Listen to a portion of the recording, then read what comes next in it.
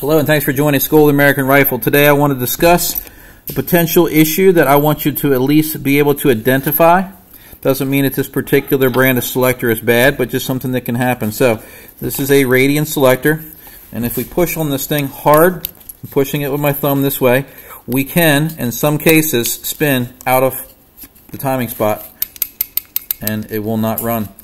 So now we're back to safe, fire, but if you spin it, push it just the right way, I can jump right out of track with it and she ain't gonna go off.